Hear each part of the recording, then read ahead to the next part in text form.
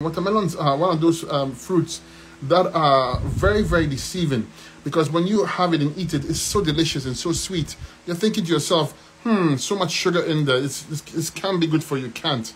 Of course, you are equating sugar with um, fructose, which is incorrect, meaning that fructose is a sugar, but it's not on the same level as glucose or any kind of sucrose.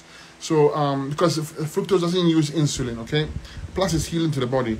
So, um, the watermelon cleanse is important because it's very powerful. And, like I said, it's deceiving, but it's very, very astringent, which means it pulls uh, mucus or the lymphatic system.